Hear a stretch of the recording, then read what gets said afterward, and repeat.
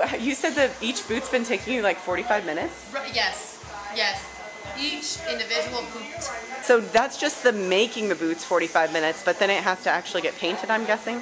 Yeah, well, I have to soften all the edges because right now they're a little rough. So I'll heat them up and soften them, and then we're gonna paint them. Awesome. Well, we'll come check on your progress. Beautiful.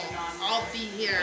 I'm doing the um, heads that go underneath the bodysuit for the centipede, the grasshopper, and the ladybug because they all have antennas. Awesome. What's hardest about this project? Um, trying to keep the heads, like trying to keep the form of the heads when you put Mod Podge on it because they, they like crumple.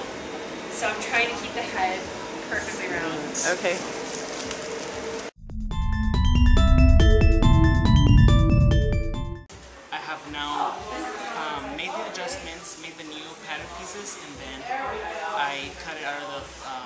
Fashion fabric.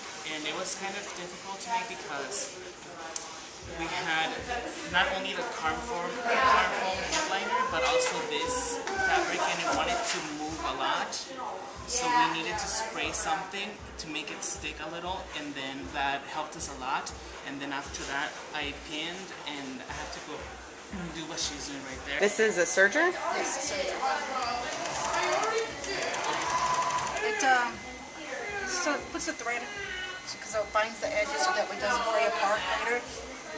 Because you're using two layers on all your fabrics. Right. Well, usually we do this for every single piece that we make. Oh, wow. So that way it doesn't fray. Because sometimes you can reuse the patterns for something else, just modify it.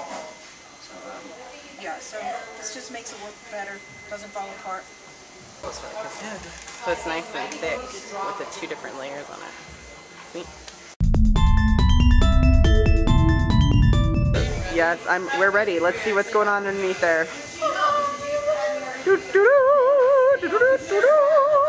Soccer balls everywhere. Beautiful. And what this is, to mimic the stripes in here, so all this is going to be added with, on the foam here.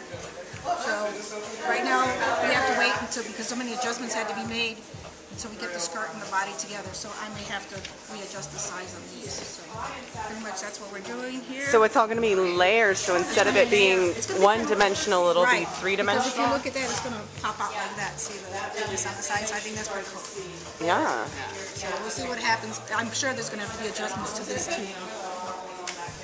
It's pretty cool. I'm so now I have to lay it flat, make sure the grains going the right way, pin it, and then I'll have to search all every single piece on the, on the serger. Oh wow. And then sew the pieces together, and then cut the stuff.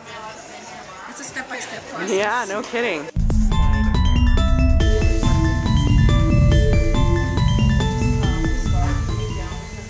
Well, we just had our fitting for the spider costume, so now I've gone back to the pieces where where we like fit them with the pins, and you mark all of the adjustments and everything, and now you just kind of have to make them match on both sides. So I'm using safety pins to show the lines, and then I'm splitting the difference between them so that it fits her evenly on both sides. so I finished my paper pattern and I cut out my muslin.